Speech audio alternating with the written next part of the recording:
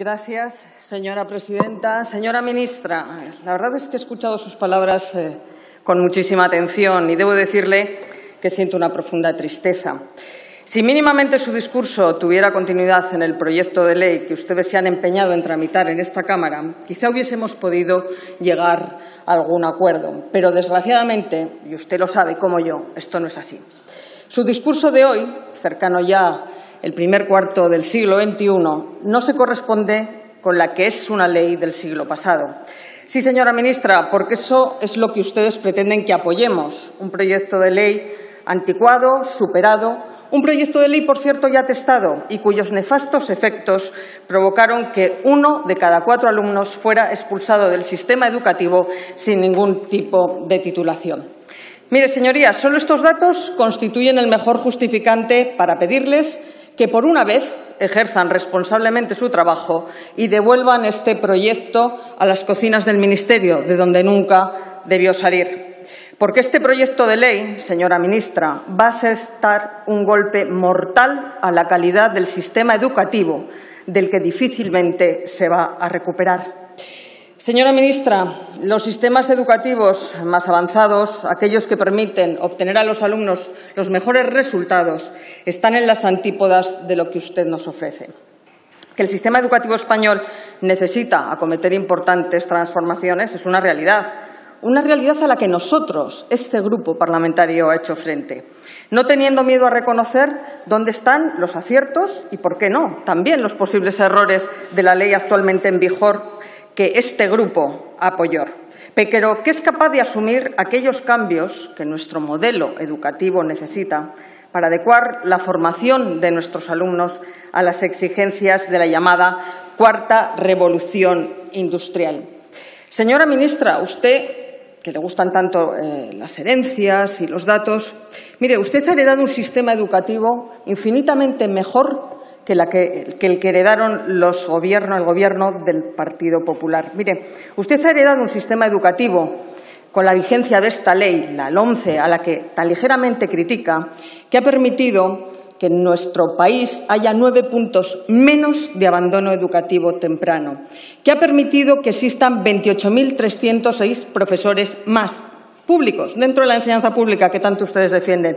120.000 alumnos más becados, 140.000 alumnos más que han apostado por la formación profesional. Una ratio profesor-alumno por debajo de la Unión Europea en todos los niveles. Sí, señora ministra, en todos los niveles. Y una inversión en relación al PIB per cápita por encima de Alemania, de Italia y del Reino Unido. ¿De qué recortes me está usted hablando, señora ministra? ¿De qué recortes?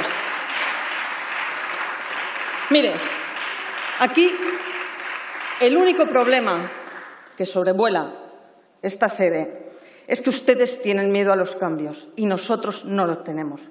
Por eso nos sentamos durante año y medio con ustedes, con otros grupos, a escuchar a 84 responsables de sectores educativos, a expertos, para lograr un gran pacto, señora ministra. Un pacto que solo ustedes, únicamente ustedes rompieron, porque mientras algunos confiaban, confiábamos en su lealtad, ustedes ya habían diseñado una hoja de ruta para apropiarse junto a sus socios del Gobierno de la Nación.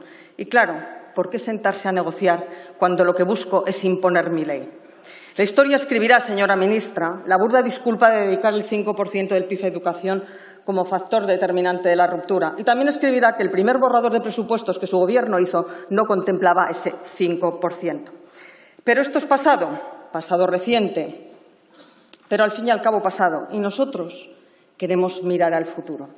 A día de hoy, por eso, señora ministra, todavía nos preguntamos qué se les ha podido pasar por la cabeza a la hora de tramitar esta ley. Y, sobre todo, si en el año 2006, señora ministra, en el año 2006 les dijimos no a la LOE, ¿cómo vamos a decirles sí a una ley que es una reedición exacta de la misma ley? Mire, a lo largo de estos 14 años, el mundo se ha ido transformando y ustedes no han aprendido nada. Si todavía hubiese traído a esta Cámara un proyecto diferente, innovador, que hubiese despertado la curiosidad de quienes sentimos verdadera pasión por la educación, hubiésemos tenido algo que debatir. Así es, imposible. Además, señora ministra, no creo que en ningún momento ustedes hayan querido negociar con nosotros. Cuando un proyecto de ley dedica su exposición de motivos a descalificar a aquellos con los que al menos formalmente, necesita negociar, lo que está buscando es la confrontación y no el acuerdo.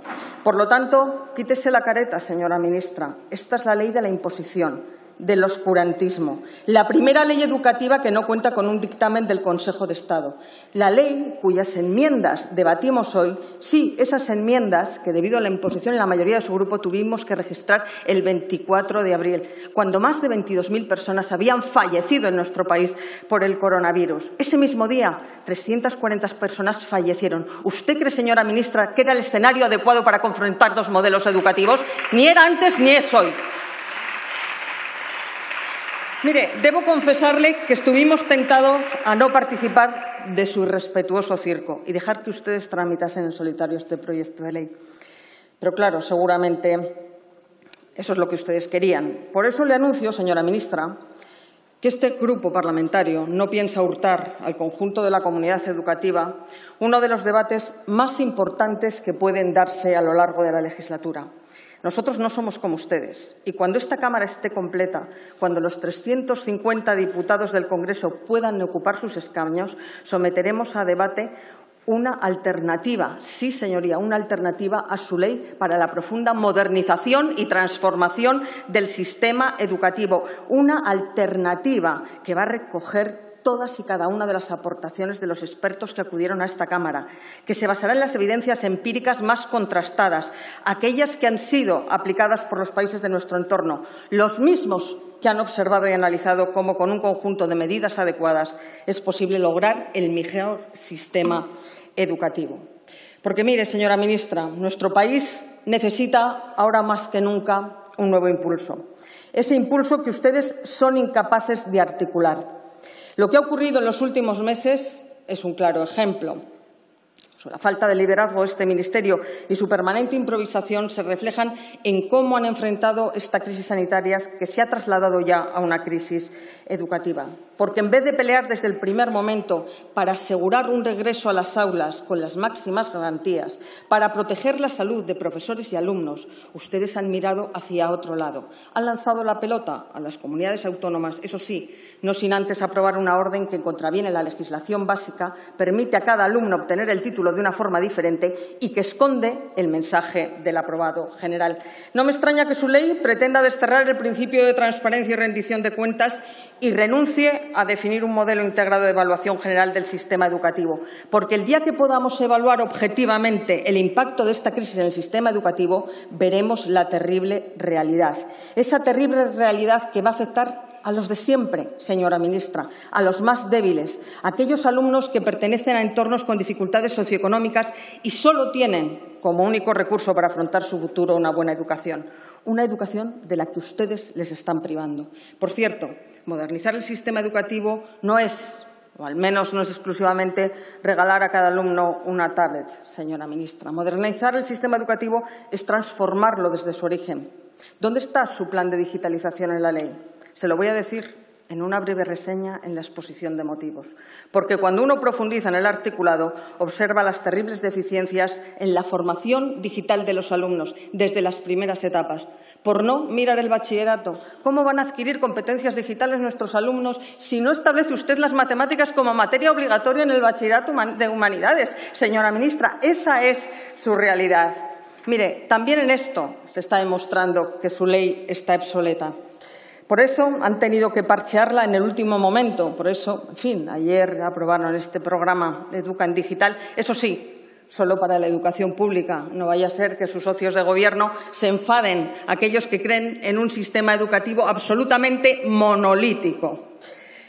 Señora ministra, necesitaría muchísimo tiempo para justificar todas y cada una de las medidas que no compartimos en esta ley. Pero le voy a explicar con meridiana claridad. No nos va a encontrar a nosotros apoyando esta ley. Primero, porque no podemos apoyar una ley que devalúa la calidad y exigencia del sistema educativo y destruye la motivación de los alumnos, porque devalúa los títulos, porque elimina la especialización curricular y la autonomía de los centros. Un modelo que nos aleja de Europa. ¿Sabe cuántos países en Europa tienen una prueba final de bachillerato? 23 países, señora ministra, 23 países. Un proyecto que debilita la figura del director del centro y que ignora a quien constituye la figura esencial del sistema educativo para cometer cualquier transformación, el profesorado. Por cierto, que ustedes han renunciado al MIR educativo es un hecho, señora ministra. Por lo tanto, no intente vender un modelo adulterado que nada tiene que ver con el modelo de excelencia que ha logrado que nuestro país tenga el mejor personal sanitario. Un modelo que renuncia a las competencias del Estado en materia, educativa y, por tanto, se inhibe a la hora de garantizar unas enseñanzas comunes y los instrumentos para asegurarlas. Artículo 149, 1.30 de la Constitución, señora ministra. El Estado tiene competencia exclusiva, competencia exclusiva en la expedición de títulos y en las normas básicas para garantizar el artículo 27, el derecho a la educación y la libertad de enseñanza. Competencia exclusiva, señora ministra. Pero, sobre todo, no va a contar con nosotros porque esta ley representa la ruptura del pacto constitucional en materia educativa. Sí, señorías, su intento de recortar derechos y libertades fundamentales es razón más que suficiente para que esta ley fuese mayoritariamente rechazada en esta Cámara. Es razón más que suficiente para que este grupo no la apoye. Yo no sé qué clase de acuerdos han firmado para hacer saltar por los aires este pacto constitucional, pero con sinceridad no creo que no haya nada que merezca semejante atropello. Por eso, lo que el Grupo Parlamentario Popular pide, demanda, le exige, señora ministra, es que cumpla la Constitución española, es que cumpla las sentencias del Tribunal Constitucional, que defiende y garantice la libertad de elección de las familias y el derecho que tienen los padres a elegir el modelo educativo y el centro donde enviar a sus hijos. Le exigimos, señora ministra, que haga desaparecer de su proyecto de ley la disposición adicional cuarta de la ley, porque las familias que tienen que tenemos, señora ministra, algún hijo con discapacidad, no somos familias de segunda, señora ministra, que es como ustedes nos están tratando. Y valoramos tanto más que cualquier familia la libertad que nos reconoce la Constitución para poder elegir la mejor educación para nuestros hijos. Y esa elección no la puede hacer el Estado, porque somos los padres los que sabemos mejor que nadie qué es lo que necesitan nuestros hijos. Finalizo, señora presidenta, señorías. El hábito de la libertad, como escribió Galdós, es uno de los hábitos más difíciles de adquirir. Para ustedes no parece difícil, empieza, desgraciadamente, a ser imposible. Muchísimas gracias. Gracias, señora Moneo.